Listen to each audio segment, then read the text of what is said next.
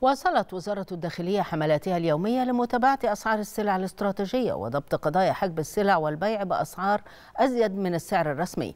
وتمكنت الوزارة خلال 24 ساعة من ضبط 512 قضية تموينية بمضبوطات بلغت 170 طن. وفي مجالي حجب السلع الاستراتيجية والاستيلاء على السلع المدعومة تم ضبط 82 طن. وفي مجال البيع بأزيد من السعر الرسمي لمواد البناء تم ضبط 30 طن أسمنت. كما تم ضبط 57 طن في مجال عدم الإعلان عن الأسعار بقصد البيع بأزيد من السعر الرسمي للسلع الغذائية.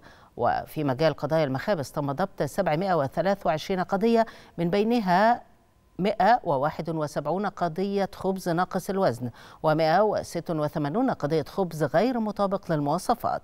وفي مجال ضبط قضايا التهريب خارج منظومة توريد أرز الشعير تم ضبط 42 قضية بمضبوطات بلغت قرابة 370 طن.